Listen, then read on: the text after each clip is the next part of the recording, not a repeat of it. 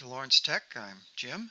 Um, today we're getting close to the end of this series on curve fitting with MATLAB and different ways to do it. Uh, we're going to look here at a, at a 3D surface. I've got two independent variables, x and y, and one dependent variable that I generated, and it's kind of a funky looking surface there. But uh, we'll look at how we fit that with the backslash operator. And I should point out the final video in this series is going to be about evaluating the parameters of these regressions. You know, are they significant? Do they make sense?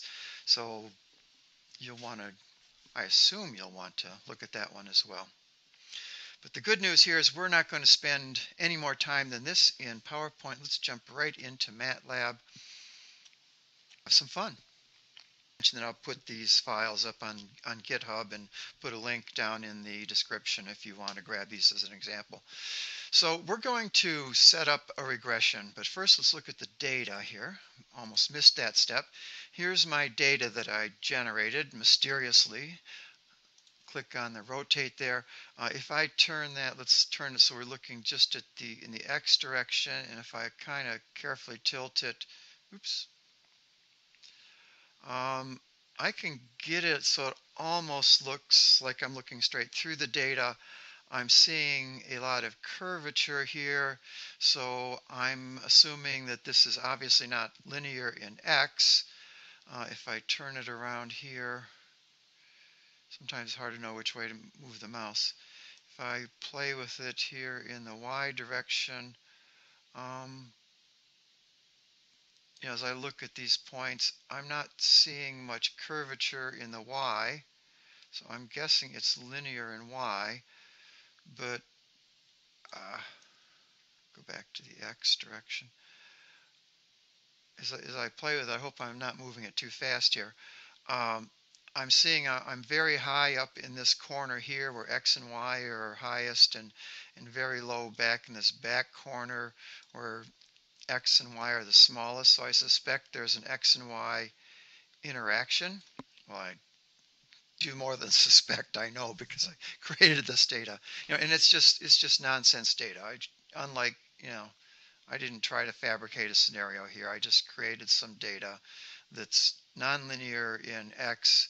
It, it is linear in y, and if you kind of just look your way through that, that you're seeing straight lines and there is an interaction, okay? So there's our data. So what do we want to fit in terms of a curve, okay? Something in x that's nonlinear, something in y that's linear, something with an interaction. So I'm going to set up a variable states, and this is why I did it last time, even though it wasn't necessary. I'm going to assume there's some kind of offset or intercept, i, and that's just a constant set of ones, okay? And then I'm going to assume there's going to be a term x, a term x squared, a term x cubed, and a term x to the fourth. So I'm looking at a fourth order polynomial, or uh, when we get into this kind of order, you might argue it's probably stupid, but this is what I'm doing. Uh, you know, I started out with second order as I was playing with this, and it didn't quite fit, so I added a third order, I added a fourth order. Uh, pretty typical progression for a lot of people. And I, I think I, I hope I've beat you over the head. Just don't automatically throw a polynomial at it, in spite of the fact that's what I've done.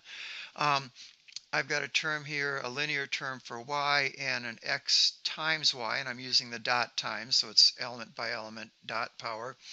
Um, so I'm creating a giant array where each column has um, the same number of values, the you know the number of samples, which happens to be 100. So I've got 100 ones in a column of 100 the 100 x values in a column with the 100 values of x squared, x cubed. So this is my state array, okay? And then I'm going to use the backslash operator to get the coefficients that'll fit an equation like this, and I put this as an example. My expected value, or my dependent value, is some constant times 1, some constant a2 times x, a3x squared, a4x cubed, and, oh, I didn't update this. Um, a5 times x to the fourth, and that'll be a6 times y, and a seventh constant times interaction, okay? Um, so that's the equation I'm trying to fit, okay? So it's, it's we have seven different coefficients we're trying to fit. It's a fourth order polynomial in, polynomial in x, and there's an interaction term, and it's just pretty arbitrary, okay? Uh, so let me do this. So number states is just the number of states.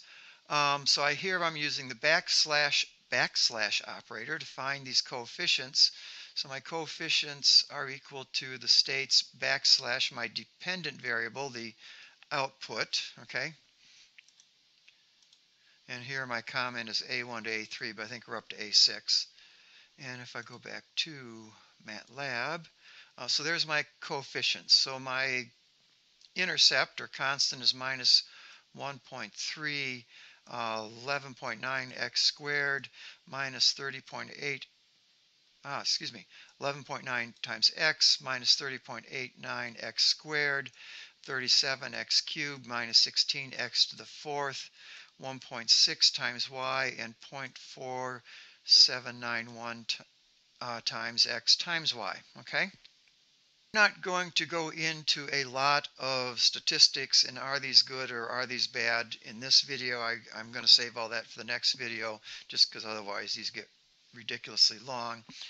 Um, but here, just because it's here, I calculated expected values, which are this that state matrix times the coefficients, so I get all the expected values of my um, dependent variable, and I can calculate the residuals, the difference between the regressed and the actual, and I can do some statistics on it here and, and get my r squared value uh, 0.97. So 97% of my curvature is explained by my regression and about 3% or 2.5% is just noise.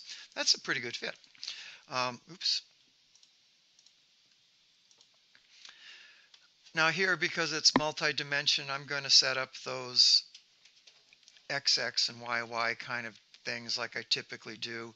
Um, so I've got minimum X, maximum X, and I make up a delta. I set up so there's 20, 20 values in my grid. Same thing for Y. I'm just setting up parameters for a grid, and I'm using the mesh grid command to give me a grid of XY points that I can evaluate evaluate selection. Just like before I created those variables, just a whole bunch of points to generate a curve.